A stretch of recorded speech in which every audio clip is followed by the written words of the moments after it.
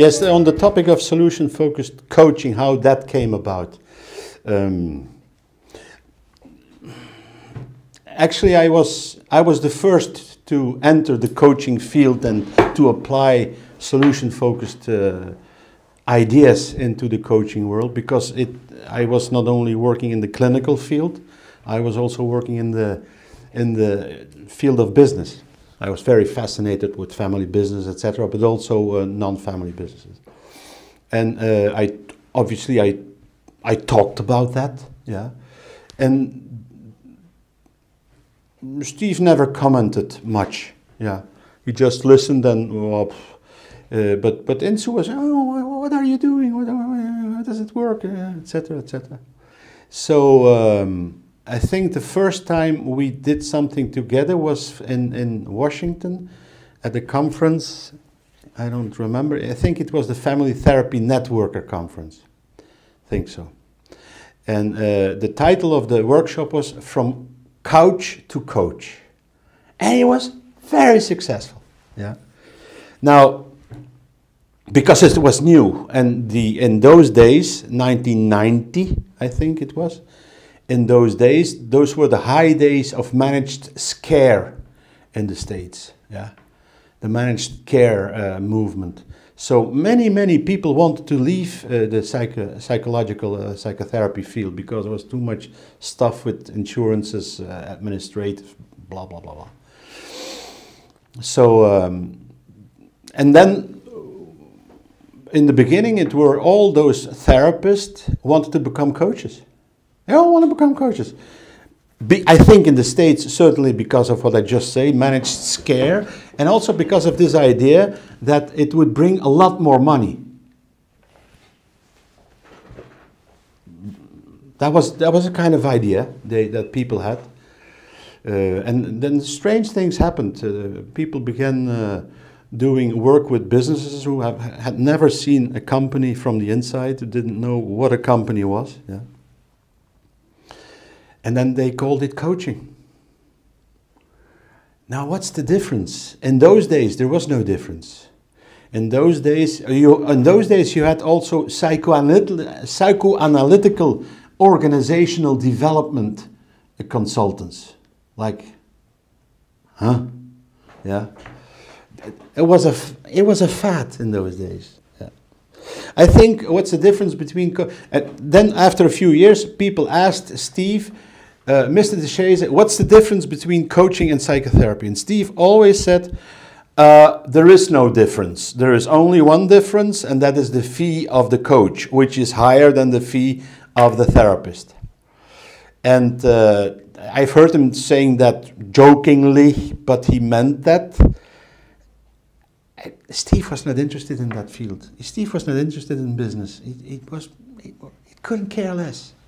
He was only interested in how can I apply my Occam's razor to help people again help themselves.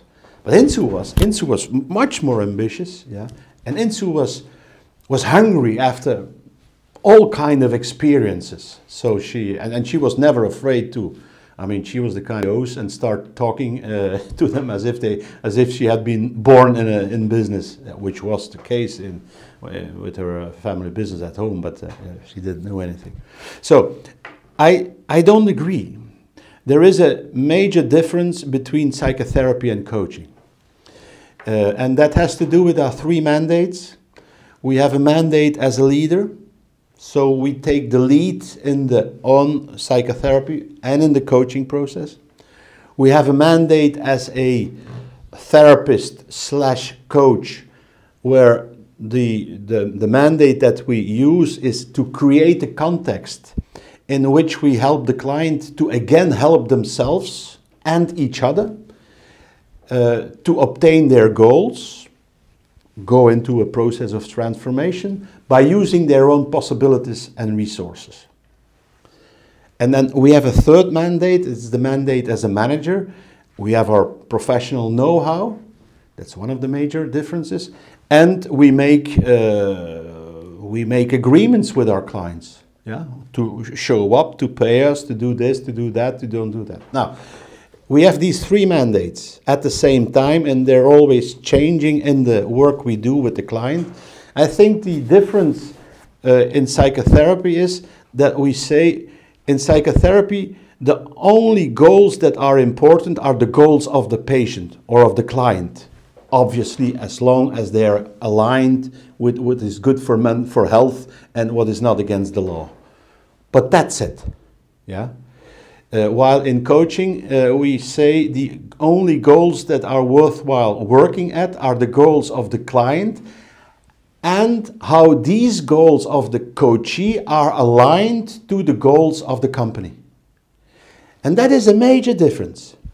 Second major difference is in our manage managerial mandate, we have to have a totally, not totally, but we have different, uh, different uh, competencies, skills, different knowledge. Yeah. Uh, as a psychotherapist, you have to know something about what can go wrong on the mental health side. Yeah. As a coach, you have to know something about how a corporation functions. So, so you have to know business economy. You have to know how a, a corporation inside functions. That's not the same as how a family system functions. So these are two, uh, I think, major differences. And they're not. Th the third thing is that, um, especially in psychotherapy, we're actually, I, th I am only interested in how do I relate to this client, and that can be a family, yeah? Uh, how do I relate to this client in such a way that uh, I, through this working relationship, I can help uh, the client embrace transformation. While the same goes for coaching, but in coaching and certainly in business consulting, there is an add on. Uh, there is the add on that you are much more linked to reality. Something needs to be done, something needs to be accomplished.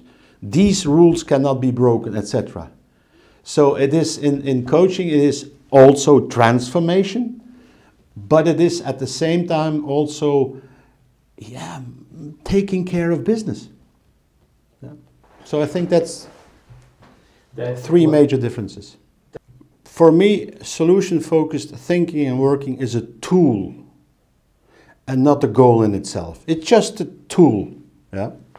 And when it comes to family businesses, this is the amalgamation of two different worlds. We have the world of the individual and family, where there are totally different finalities than in the world of business. So family slash business, it's the slash that makes it special.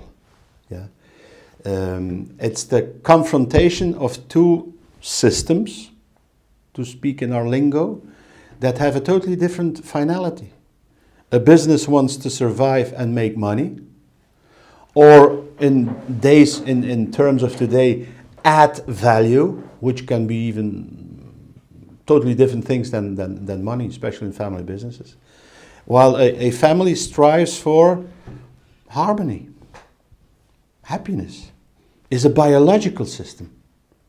A business is not a biological system. So this, is, this, this combination makes that emotions run from one part through the uh, family, through the slash, to the business, and vice versa. Yeah? And the familyness of a business can work as, as atomic power.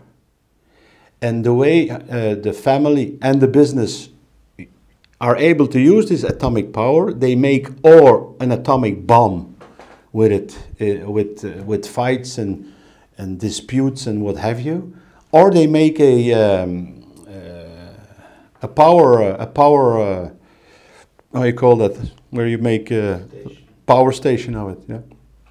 Now, second thing is uh, family businesses go through life cycles like a person and like a family. And uh, these life cycles, these, they're intertwined. But every family business needs a succession, unless it goes broke. But then problem is solved. Yeah, then you only have the family. Yeah, so the the business succession is a very complex, sometimes complicated, but always complex endeavor, and it is a question of life or death for the for the business. And it's something that people have not rehearsed because it's always the first time. Yeah, certainly in G1 to G2, as we say that. Yeah. Some old family business. I was in Japan and I bought a little gong in, in a Kyoto in a, in a store and I saw a 1620. So I asked the guy, I said, Is this a family business? Yeah, yes, yes. Is it old? Yes, yes, yes. Uh, 1620, 14th generation. Yeah. There, uh, the, the succession planning is not so complicated. Yeah.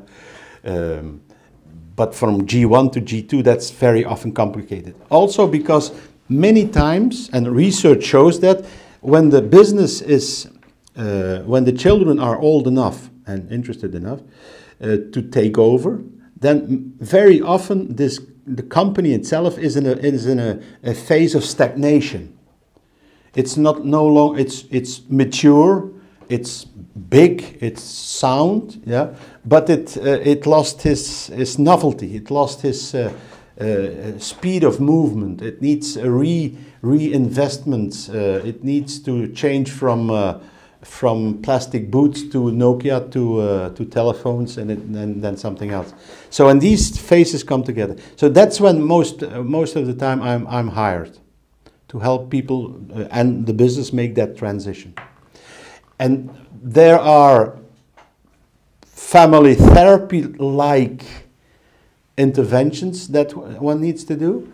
And sometimes there are also, also a great need of doing just business interventions, just economical, harsh business interventions.